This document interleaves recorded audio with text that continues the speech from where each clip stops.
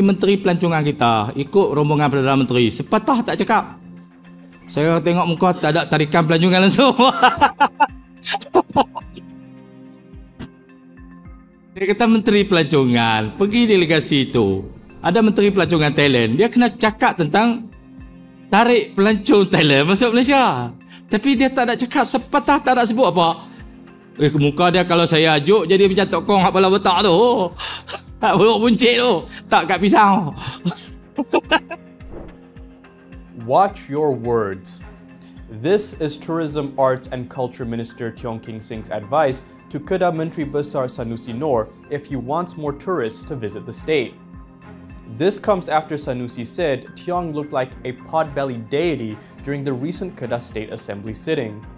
Sanusi had also accused Tiong of not doing enough to promote Kedah's tourism when accompanying Prime Minister Anwar Ibrahim during a trip to Sadao, Thailand.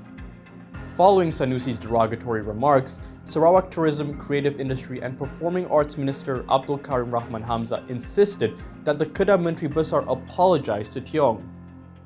However, Tiong brushed off Sanusi's jibe, saying it was all part and parcel of politics. Danish Rajareza, FMT News.